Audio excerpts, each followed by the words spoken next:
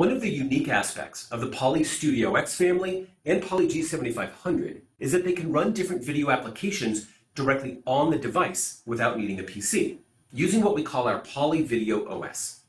So for example, you can run Zoom rooms directly on one of these devices like I am on this Poly Studio X30. This is a complete Zoom room with a Zoom interface and all of Zoom's advanced features running right on a Poly video solution.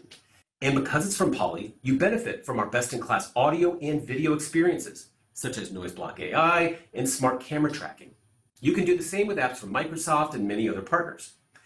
Or you could run the Poly Video app, as I'm doing here on this Poly Studio X50. This mode lets you make video calls using industry standards, such as SIP or H.323, which are supported by nearly every cloud video service, either directly or through a gateway. Now, this isn't a native experience like you have in running a partner app. You don't get a full Zoom Rooms experience in this mode, for example. But what you gain is flexibility. You can easily connect to nearly any cloud video service anytime with a simple touch of a button from the calendar. So our partner apps are great when you're mostly making one type of video call.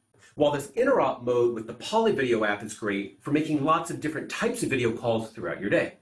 To learn more, reach out to your Poly account manager or reseller, or visit us at poly.com.